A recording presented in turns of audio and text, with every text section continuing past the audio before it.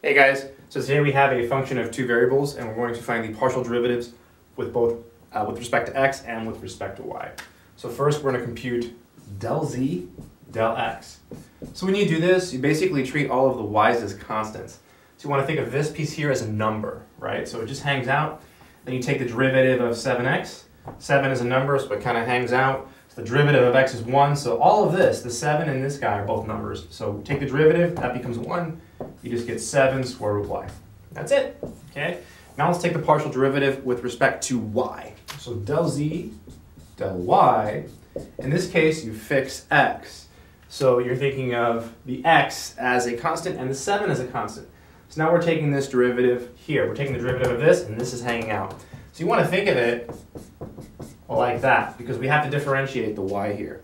Um, and then so you bring the 1 half down using the power rule. So you would get 7 halves x y to the negative 1 half. And that would be it. I hope that made sense.